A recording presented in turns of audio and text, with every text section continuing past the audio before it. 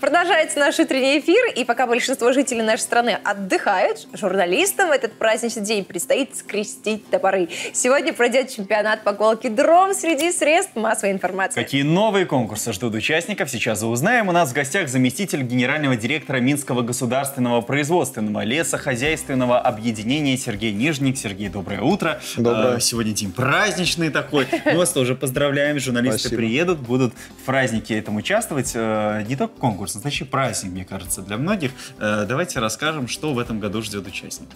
В этом году будет проходить третий чемпионат Беларуси по колке дров среди журналистов. В принципе, основные э, номера или соревнования остались пре- прежние, но э, в этом году появилась изюминка. Добавились два конкурса, как для мужчин, так и для женщин.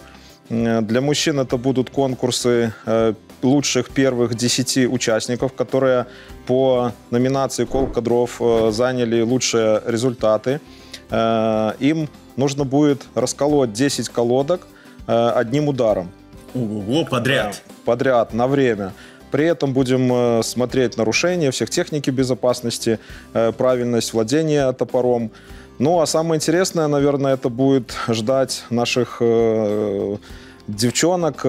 Новый конкурс. Э, Нужно будет сковородкой чугунной э, при помощи деревянного клина также расколоть две колодки напополам. А, вот это я понимаю испытание. Ты Да. пробовала когда-нибудь колоть дрова? Мне кажется, и не нужно даже начинать. Я вам хочу сказать, такие навыки получать женщинам опасно. При этом, при этом Хотя, сковородка должна не быть сохранена, неповрежденной остаться. Видишь, как сложно? Сколько команд заявлено в этом году? Ну, с- еще в прошлом году было 35 команд. В этом году также будет более 30 команд, 35. Поэтому все сектора у нас уже готовы. Поэтому примем всех желающих поучаствовать. Сколько дров заготовлено? Самое интересное. Кубов. Ну, около 30 кубов, наверное, будет э, заготовлено вот Фура этих колодок. Да, колодок, которые будут использоваться для, э, ну, в каждом секторе для номинации номеров. А куда дрова потом отправятся? Ну, это как и в прошлом году. Э, Колотые дрова мы отвозим э, пенсионерам, заслуженным людям, которые э, нету детей, им сложно в зимний период за- заготовить эти дрова, поэтому мы доставляем транспортом Боровлянского спецлесхоза, доставляем таким людям эти дрова. Здорово. Давайте расскажем про награды, которые ждут участников. Ну, давайте пусть будет это сюрпризом, но я скажу, что э, награды будет, будут достойные. Ой, такие Награды- топоры я в прошлый раз видел. Я аж позавидовал, что не участвовал. Вот э, Да. хороший топор денег стоит. И самое главное, что награды будут не только участникам, но и зрителям, которые пришли поболеть э, за свои, ну, за спортсменов. Э, буд- Будет э, четыре локации, где будут участвовать тоже семейные конкурсы, для детишек локации, поэтому будет очень весело, интересно. Ну, а помимо соревновательной части, чем еще порадуете участников чемпионата? Вот я говорю, что будут четыре локации именно для зрителей, которые будут участвовать. Э, Также интересные конкурсы по перетяжке саней, э, потом собрать э, деревянные фигуры тоже на время, это семейный конкурс. Но и интересный будет конкурс, мы его назвали «На глазок».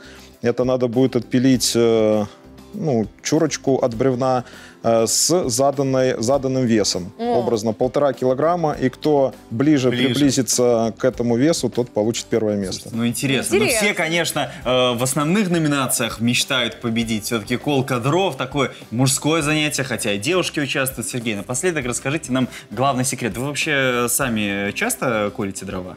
Ну, конечно, мы работаем в лесном хозяйстве, э, поэтому приходится, ну, к сожалению, не, не ежедневно, так как живем в часто. городе, но приходится. Что самое главное? Все-таки сила или техника? Как вам кажется? Ну, знаете, здесь, наверное, должно быть все сбалансировано.